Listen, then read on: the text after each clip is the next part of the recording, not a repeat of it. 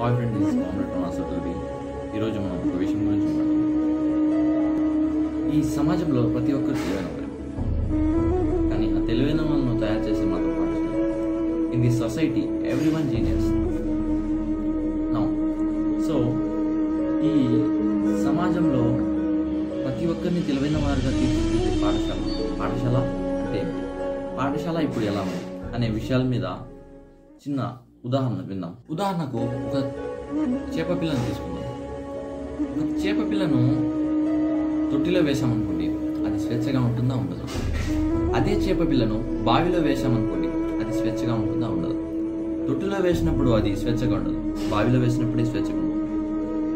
ఈ ఉదాహరణలో తొట్టి అనేది ప్రైవేట్ పాఠశాల. అదే ప్రైవేట్ స్కూల్స్.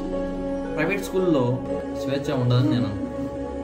అది బావి అనేది గవర్నమెంట్ స్కూల్ గవర్నమెంట్ స్కూల్లో తప్పకుండా స్వేచ్ఛ ఉంటుంది. ఇక్కడ చేపపిల్ల అంటే మీకు అర్థమై ఉంటుంది. చేపపిల్ల అంటే ఒక విద్యార్థి.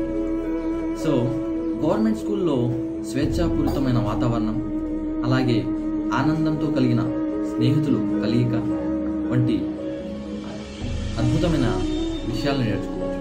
సో నేను కూడా అలాంటి వాతావరణం నుంచి వచ్చాను. కానీ రాను రాను ఈ నాయకుల అసమర్థ పాలన వల్ల గవర్నమెంట్ స్కూల్స్ మరుగున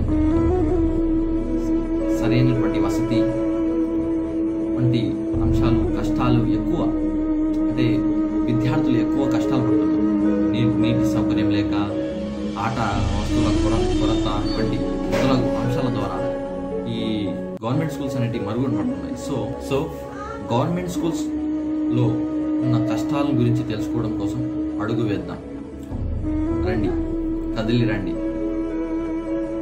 కదం తొక్కండి GSDU government schools development union తో భాగస్వామ్యం GSDU government schools development union చేపడుతున్నటువంటి బడి పిలుస్తుంది ప్రోగ్రాంలో ప్రతి ఒక్కరూ అంటే జిఎస్డియు భాగస్వామ్యం అందరూ ప్రతి ఒక్కరూ పాల్గొనాలని కోరుకుంటున్నాను it's once again it's comrade the happy